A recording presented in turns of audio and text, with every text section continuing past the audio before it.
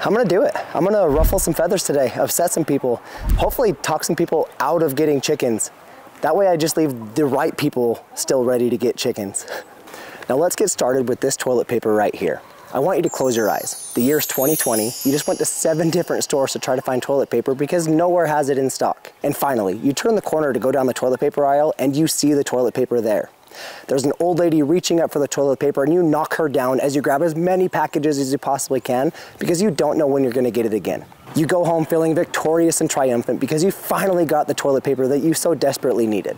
And here we are some years later and you still haven't bought toilet paper. You're still using the stockpile that you bought how many years ago?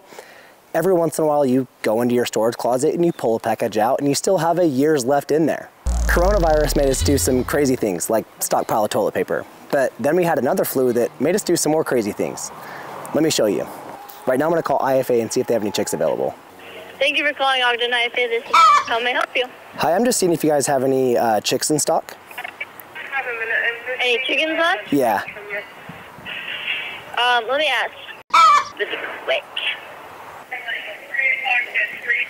Alright, so we only have three chickens left and we and we have one one milfoil and two and two buff broncs. Ah. I'm pretty sure that's how you say them. All right, I appreciate it. Thank you. yep, is that everything? Yep, that was everything. Alright, have a great day. You too. Bye. IFA normally has hundreds or even probably thousand chicks at a time. Let's try another one. Business Tractor Supply in West Haven. How can I help you? Hi, I'm just seeing if you guys have any chicks available. We don't have any ch- chicks right now. We are sold out. We could possibly have some tomorrow. Okay, awesome. I appreciate it. Yes, you're welcome. Okay, Bye. bye. Let's try another one. This is Cal Ranch, another country store out here. Good Afternoon, Cal Ranch Farr West. How may I direct your call? Hi, I'm just seeing if you guys have any chicks available. Any what? I'm Uh, sorry. chicks, uh, baby chickens. no, no chicks. Okay, okay, I appreciate it. Thank you. Maybe tomorrow if it's warm. Okay. I, Bye bye. Okay, bye. So out of every store within a 20 mile radius of my house, there's three chicks. And if I were to go there right now, those chicks would be gone by the time I got there. Right now, people are driving hours to go find their chicks. They're, they're driving to different states to go find them because nowhere has them in stock. Everybody wants to get chicks right now because of the whole avian flu thing and the egg prices rising. Everybody's interested in getting them, but nobody can find them. And as somebody that has a YouTube channel that, that talks about chickens and having chickens, I should absolutely love this newfound interest in keeping chickens and trying to find chickens. I should love it, but I'm torn. I honestly believe that every family in America should have chickens because the benefits of that are just astronomical. And I can't get into all of that in just a short video like this one. What I'm hoping is happening is people are just kind of realizing how fragile our food system is and they're trying to pull themselves away from it as much as possible and taking that step toward being self-sufficient. I think that that would be a huge win in this situation. What does worry me a little bit is that people are seeing these egg prices and they're kind of just getting scared. And their first knee jerk reaction is to run to the store and get chickens to start getting their own eggs because they think it's going to be cheaper. Having your own chickens is always going to be more expensive than getting your own eggs from the store. Unless you're doing it on a really large scale and selling some of those eggs, then that would be cheaper in the long run. But for most families, backyard chickens are more expensive. That stockpile of toilet paper that you've had sitting in your closet for the last three years, that doesn't cost you any money. That sits there rent free. You don't have to worry about it. Chickens, on the other hand, they take time, they take effort, they take money, they take energy, they take all these different things, and you can't just put them in a closet and forget about them.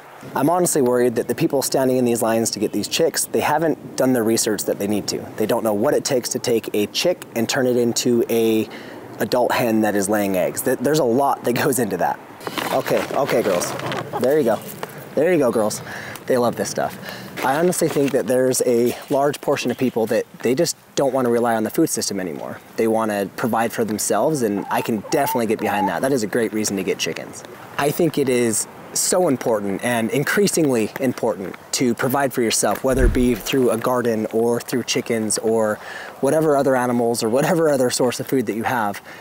I think that is it, it is getting more and more important every single day to start just providing for yourself. There's there's a lot of people that are getting chickens for the right reasons this year, but there's other people that aren't. And I have a prediction, and don't quote me on it, but I have a prediction and I think it's going to come true. I'm not too worried about finding myself the, the chicks that I wanted to this season. And I think that's because I know that by the, by the time this fall comes and the days start getting shorter and these birds stop laying that all these people got, they're not going to want them anymore. Or they're going to realize that these, these chicks, they aren't these, these cute little chicks anymore and they're going to turn into adult hens that maybe outgrew the, the coops that they had, or maybe they got just way too many chicks. There's gonna be a massive influx of chickens this year on whatever marketplace you go to, whether it be Facebook, KSL, Craigslist, doesn't matter.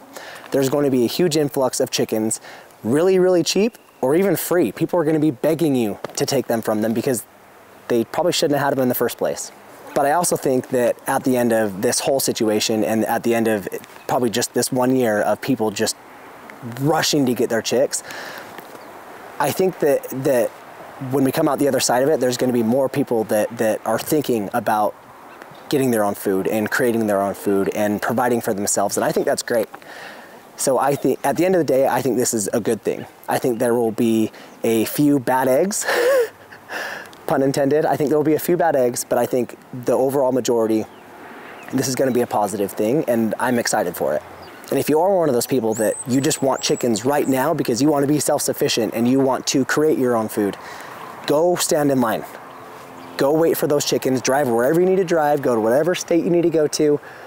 Go get your chickens because I support it 100%. I think it's a great idea. And if you're doing it for the right reasons, you should absolutely do it no matter where you have to go to get them. And if you're one of those people that's like, oh man, maybe I should look more into this, go watch this video right here. We go over kind of the basic care of them, the pros, the cons, kind of what it takes to take care of chickens. And by the end of that video, you should know 100% if they're right for you. So go watch that video and I'll see you there.